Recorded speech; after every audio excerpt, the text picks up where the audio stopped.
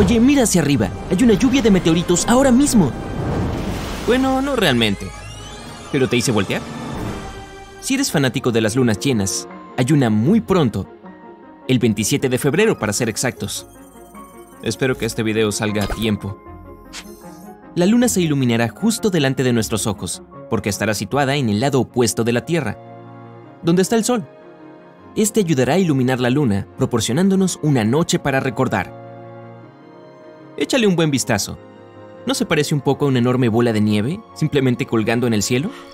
Algunas tribus nativas del hemisferio norte de nuestro planeta podrían haber pensado lo mismo. Por eso la llamaban la luna de nieve, ya sabes, cuando estaba grande y llena como esta. Bueno, ve y toma tu telescopio ahora, porque los días 9 y 10 de marzo hay tres planetas que se alinearán para tu placer estético. Empezando de arriba abajo, verás a Júpiter, luego a Saturno y por último, pero no menos importante, a Mercurio.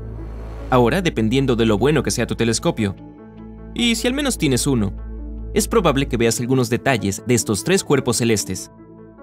Ajustas un poco tu instrumento y ahí está, otro planeta. Así como si no estuvieran a miles y miles de kilómetros de distancia el uno del otro.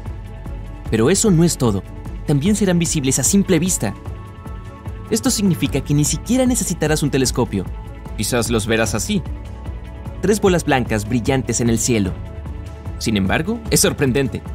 Tendrás que estar mirando al sureste alrededor de media hora antes de que salga el sol. Y voilà, ahí están. ¿Se te antoja una lluvia relajante? ¿Qué tal una de meteoros? Esta vez puedes tener tu telescopio bien guardado y ni siquiera tienes que preocuparte si te pierdes una o dos de estas lluvias, ya que hay muchas sucediendo este año. Además, están bastante repartidas. Y no me refiero a los meteoros, estos vienen muy cercanos. Toma tu calendario y anota estos meses. Puedes elegir entre abril, agosto, octubre, noviembre y diciembre.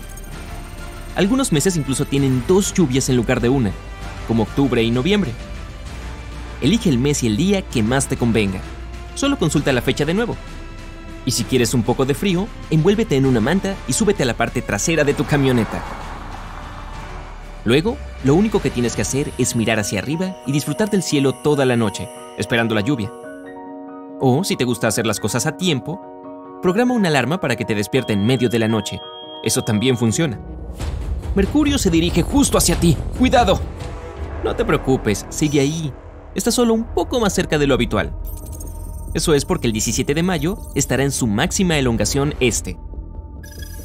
Es decir, será más fácil de observar. Justo después de la puesta de sol, apunta tus ojos al cielo en el oeste e intenta buscar el planeta. Esto vuelve a ocurrir el 4 de julio, pero esta vez tendrás que mirar hacia el este. Puede que necesites una brújula. Comienza a celebrar a primera hora de la mañana antes de que salga el sol, con una magnífica vista de Mercurio y, claro, una taza de café. Si no alcanzas a verlo, prueba el 14 de septiembre o el 25 de octubre. ¿Y qué tal cuando la luna pierde su color blanco natural? Esto ocurre pocos días después del primer acto de Mercurio, el 26 de mayo. Se llama eclipse lunar total. Nuestro satélite se irá oscureciendo poco a poco como si alguien estuviera dejando caer pintura roja oscura sobre él, hasta que finalmente alcance una especie de color rojo oxidado que se puede ver en la pantalla. No todos podremos ver esto, a menos que estés en un crucero por el Océano Pacífico, o en los tranquilos campos del este de Asia. Si vives cerca de la Torre de Tokio, estás de suerte, será visible en todo Japón. Y si vives en la parte occidental de Norteamérica, también podrás ver cómo la luna cambia de forma. Bueno, no se transformará del todo, no se convertirá en un lobo ni nada parecido. Eso solo ocurre si eres un hombre lobo, claro, lo que definitivamente no soy. Así que es más bien un cambio de color. Todavía en la Luna. Imagínate un enorme agujero negro. Bueno, este próximo evento astronómico se parece a eso. El 10 de junio, durante el eclipse solar anular, la Luna estará lo más lejos que jamás haya estado de la Tierra. Mientras lo hace, acaba cubriendo la mayor parte del Sol, dejando solo un poco de su curvatura para que la veamos.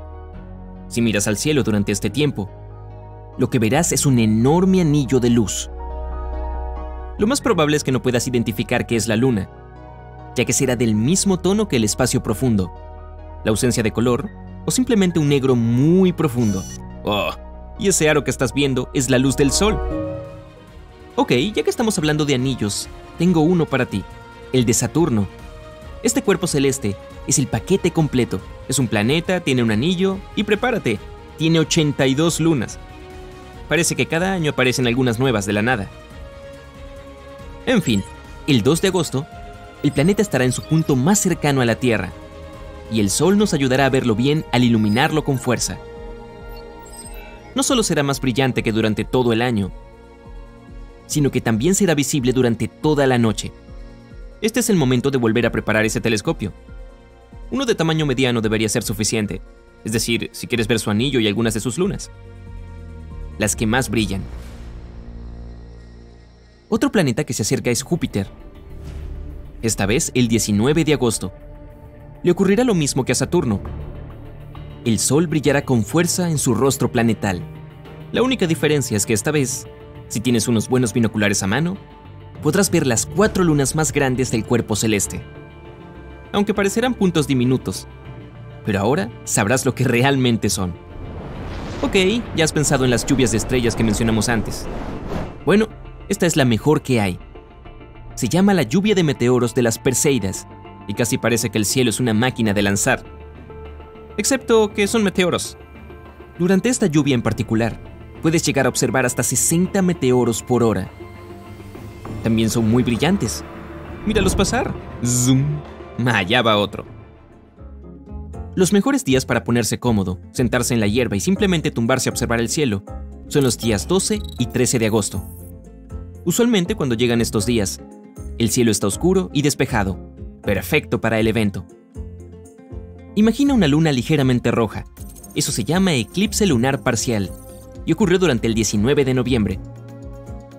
Este mismo satélite rojo se irá oscureciendo a medida que atraviesa la sombra de la Tierra. Sin embargo, no será visible para todo el mundo. Aquí tenemos un globo terráqueo. Marquemos los lugares donde se verá este eclipse lunar parcial. Primero, el este de Eurasia, luego Japón. El Océano Pacífico también está en la lista. Pero a menos que tengas un barco, probablemente no estés ahí. Luego, América del Norte, México, América Central y por último, algunas partes del oeste de Sudáfrica. Toma tus lentes para eclipse y prepárate para el final. Es el último eclipse solar del año. Este en particular es el mejor para ver, ya que la luna bloqueará el sol durante casi dos minutos. Podrás ver la corona del sol, casi fantasmal, también conocida como su atmósfera exterior. La parte triste es que tendrás que estar en la Antártida o en el Atlántico Sur. Solo ten cuidado ahí, he escuchado que se pone un poco frío.